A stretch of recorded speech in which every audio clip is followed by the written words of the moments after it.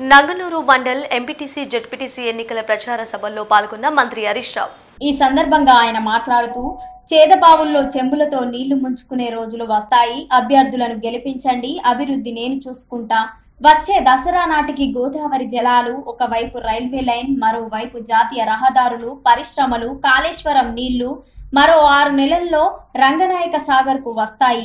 వృద్ధులకు వికలాంగులకు నిరుద్యోగ భృతి పెంచిన పింఛన్లు వచ్చే నెలలో ఇస్తాం. డిఎక్స్ఎన్ కంపెనీ ద్వారా నిరుద్యోగులకు ఉపాధి లభిస్తుంది. ఈ ఏడాది నుండి ఎకరానికి పదివేల పెట్టుబడి సాయం ఇస్తాం. గతంలో మాదిరి ఎరువుల గతంలో మాదిరి ఎరువులకు విత్తనాలకు ఇబ్బంది లేదు. కరెంట్ సమస్యలు లేవు. గోదావరి నీళ్ళతో ప్రతి చెరువు కుంట నింపుతాం. నంగునూరు మండలంలో నలభై వేల ఎకరాలకు సాగునీరు అందిస్తాం. నంగునూరు మండలంలో ప్రతి గ్రామంలో మార్కెట్ నిర్మించాం. ప్రతి పంటకు రైతుకు మద్దతు ధర అందిస్తున్నాం. ప్రజల ప్రేమ పొందడమే ధ్యేయం. పదవులు కాదు ప్రజల మనస్సు గెలవడమే నాకు ముఖ్యం. కారు గుర్తుకు జెడ్పీటీసీ ఎంపీటీసీ అభ్యర్థులను గెలిపించండి. నంగునూరు మండలాన్ని అన్ని రంగాలలో ముందు వరుసలో ఉంచుతా. నంగునూరు మండలం సెంటిమెంట్కు టిఆర్ఎస్ పార్టీకి ఆదర్శం. వచ్చే ఐదేళ్ళు మీకు సేవ చేసి మీ రుణం తీర్చుకుంటామని ఆయన తెలిపారు. మీ దయతో మొన్న నన్ను ఎమ్మెల్యేగా గెలిపించినారు. ఐదేళ్ళ పాటు మీకు సేవ చేసి రుణం తీర్చుకోవాల్సిన బాధ్యత నా మీద ఉంది. తప్పకుండా నేను ఇచ్చిన ప్రతి మాట కూడా నిలబెట్టుకొని మీకు సేవ చేస్తాను. అదేవిధంగా మొన్న ప్రభాకర్ రెడ్డి గారి ఎన్నిక కూడా అయిపోయింది. అయితే ఇప్పుడు ఈ ఎంపీటీసీ జెడ్పీటీసీ కూడా ఎందుకు అంటే ఇది మీకోసం నేను ఏ పని చేసినా కూడా ఆ పని మీ ఇంటి దాకా ముట్టాలి మన ఊరి దాకా ముట్టాలంటే నాకు సర్పంచ్ ఎంపీటీసీ అంటోళ్ళు రెండు కథలు అంటోళ్ళు వాళ్ళు ఎందుకంటే ప్రతి పని మీకు రాత్రిపూట ఏదైనా ఆపద దవాఖాన పని పడవచ్చు. లేదా మీకు పాస్బుక్ కావాలి. మీకు పెన్షన్ రానోళ్ళు ఎవరైనా ఉంటే పెన్షన్ కావాలి. ఊర్లో ఏ పని కావాలన్నా కూడా నేను ఏదైనా శాంక్షన్ చేస్తే అది మీ దాకా అందాలంటే సర్పంచ్ ఎంపీటీసీ అంటోళ్ళు నా మనుషులు ఉండాలి. లేకపోతే ఏమైందంటే వాడో తోవ నేనో తోవ అంటే మన పని కింది మీద అవుతుంది. నాకు మనవి ఏంటంటే మీ అందరితో కూడా దయచేసి టీఆర్ఎస్ పార్టీ కారు గుర్తుకు ఓటేసి మీరు వీళ్ళని గెలిపించినట్టయితే నేను ఇంకా బాగా మీకోసం పనిచేయగలుగుతా అని చెప్పి నేను కోరుతాను మీకు మాట ఇచ్చినాం. వెయ్యి రూపాయల పెన్షన్ రెండు వేల పదహారు చేస్తామని చెప్పినాం. మళ్ళా నెలకెళ్ళి ఇప్పుడు ఎలక్షన్ కోడ్ అయిపోగానే నెలకు రెండు వేల పదహారు రూపాయల పెన్షన్ ప్రతి అక్కకు చెల్లెకు కూడా అందిస్తాం. మా బీడీ కార్మికులు ఇది వరకు పంచాయతీ ఉండే. అత్తకొస్తే కోడలు పింఛనెత్తలేదని పంచాయతీ పెట్టింది నాతో అగో అతను ఎలగొట్టుడు పెట్టేది ఇక. ఇదే నాయన అనుకొని పోయి మళ్ళా కేసీఆర్ సార్ని కలిస్తే లేలే అది తీసేసినాం. అత్త కోడలికి ఇద్దరికి పింఛన్ ఇస్తామని చెప్పినాం ఇద్దరికి ఇచ్చినాం. ఇప్పుడు మళ్ళీ ఏమంటున్నంటే కొత్త పిఎఫ్ కార్డు వచ్చింది సార్ మాకు రెండు వేల పద్నాలుగు తర్వాత వచ్చింది. నేను కూడా బీడీలు చేస్తే నాకెందుకు ఇవ్వపించానని కొత్తగా షురు అయింది. ఊరికి పది ఇరవై మంది. ఇప్పుడు వాళ్ళకు కూడా ఇప్పటి నుంచి నెలకు రెండు వేల పదహారు రూపాయల పెన్షన్ వారికి కూడా ఇస్తాం. మన ఒంటరి మహిళలు కానీ వృద్ధులు కానీ వితంతువురాలు కానీ బీడీలు. ఇంతకుముందు అరవై ఐదేళ్ళు నిండితేనే పెన్షన్ వచ్చేది. ఇప్పుడు యాభై ఏడేండ్లు నిండంగానే.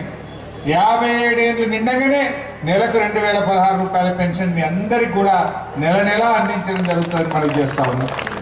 అదేవిధంగా మా నిరుద్యోగ యువకులు పిల్లలకు ఉద్యోగాలు రాక బాధపడుతున్నారు. ఇలా పిల్లల కోసం కూడా ఆలోచన చేస్తున్నాం. పిల్లలు పరీక్షలు రాయడానికి పిల్లలు పుస్తకాలు కొనుక్కోవడానికి పిల్లలు ఫీజులు కట్టడానికి ఇబ్బంది అవుతుందని చెప్పి ఉద్యోగం వచ్చేదాకా పిల్లలకు నెలకు మూడు వేల పదహారు రూపాయల నిరుద్యోగ వృత్తి కూడా ప్రభుత్వం అందిస్తుంది. నేను కూడా ప్రయత్నం చేసిన పిల్లల కోసం కోచింగ్ కావాలి పోలీస్ కానిస్టేబుల్ పరీక్ష రాస్తారంటే అన్నం పెట్టించి ఒక రూపాయి ఖర్చు లేకుండా. అదేవిధంగా పిల్లలు ఉపాధ్యాయ ఉపాధ్యాయ ఉద్యోగాలకు పరీక్ష రాస్తున్నాం. గ్రూప్ టూ ఎగ్జామ్స్కు పరీక్ష రాస్తున్నాం అంటే ఊరికి ఒక పది ఇరవై మందికి పాస్ బుక్లు రాలే. రెవెన్యూ అధికారులు ఇబ్బంది పెడుతున్నారు. తప్పకుండా వాటిని కూడా ఇప్పుడు ప్రభుత్వం చాలా సీరియస్గా ఉంది. ముఖ్యమంత్రి గారు సీరియస్గా ఉన్నారు. ఈ ఎలక్షన్ కోడ్ అయిపోగానే ఎవరికన్నా ఇంకా పాస్ బుక్లు రానోళ్ళు ఉంటే కూడా ఒక నెల రెండు నెలల లోపల అందరికీ పాస్ బుక్లు ఇప్పించి రైతు బంధు కింద ఎకరానికి పదివేల రూపాయల డబ్బు కూడా ఇప్పిస్తామని మనం చేస్తా ఉన్నాం. పెట్టుబడి సాయం వచ్చింది. ఎరువులకు ఇబ్బంది లేదు మునుపట్లాగా. విత్తనాలకు ఇబ్బంది లేదు. వెనకట ఎరువు బస్తాలు కావాలంటే కాంగ్రెస్ గవర్నమెంట్ ఇకపోతే మా రమేష్ గౌడు జర కోల రమేష్ గౌడు మంచిగా చూడు జరిగా నేను ఒకటే కోరుతున్నా నాకు నంగునూరులో మా వాళ్ళు ఏడ కూర్చున్నారు నంగునూరు నిన్న దూరం దూరం ఉన్నారు. మా నంగునూరు వాళ్ళకి దండం పెట్టి నేను కోరేది ఒక్కటే. అయితే సర్పంచ్ని ఇస్తారు లేకపోతే ఎంపీటీసీని ఇస్తారు నాకు. మూడు సార్లు అట్లే అయింది. ఓసారి ఎంపీటీసీ టీఆర్ఎస్ సర్పంచ్ ఇంకొక ఆయన. మళ్ళోసారి సర్పంచ్ ఇంకొక ఆయన ఎంపీటీసీ ఒకరిని ఇచ్చింది జర రెండు ఒక్క దిక్కు ఇస్తే బండి బరాబర్ నడుస్తుంది.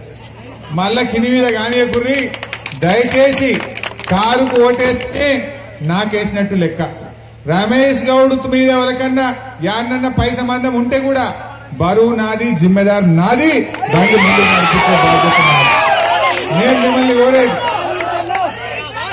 దయచేసి మా రాజ్యలక్ష్మికి కారు గుర్తుకు ఓటేసి గెలిపింది నేను ఇద్దరిని బరాబర్ నడిపిస్తా. ఎవరిని? సర్పంచ్ గారిని ఎంపీటీసీ గారిని. రేపు తప్పకుండా మరి ఈ నంగునూరు గ్రామాన్ని ఈ మండల కేంద్రాన్ని అన్ని రకాలుగా అభివృద్ధి చేసే బాధ్యత నా మీద పెట్టండి. మీ దయతో సర్పంచ్ని ఇచ్చింది నాకు సంతోషం. ఎంపీటీసీని కూడా ఇస్తే రెండు కళ్ళ లాంటి జోడెడ్లలాగా ఈ ఇద్దరిని కలిపి ముందుకు నడుపుతా. నంగునూరు గ్రామాన్ని అభివృద్ధిలో ముందు దశలో ఉంచుతా అని చెప్పి నంగునూరు ప్రజలకు తెలియజేస్తాను నంగునూరులోనే జర ఒక పైస మందం పొద్దున్న దాకా రమేష్ అన్న చేయంటారు పొద్దుకి ఇంకో చేయంటారు జర గసం తీయమొద్దు మనం ఒక్కటే ఉండాలి కుల్లా కుల్లా. ఎవడన్నా వచ్చి పైసలు ఇస్తాడు. ఇందాక నేను మిట్టపల్లి కాడ మాట్లాడుతున్నా. ఐదు వందలు ఇస్తారంటే సారు అంటుండు.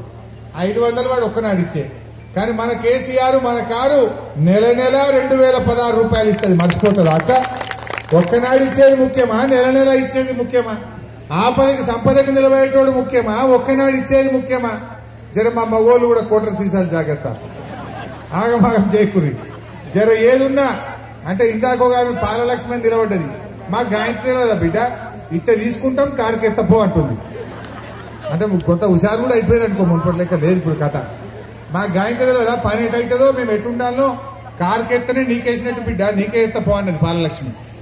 ఇది మిట్టపల్లి కాడ మాట్లాడి ఇంటికి వచ్చిన ఇప్పుడు నేను. సో అట్లా నేను నంగునూరు వాళ్ళకి కూడా దయచేసి కోరుతున్నా.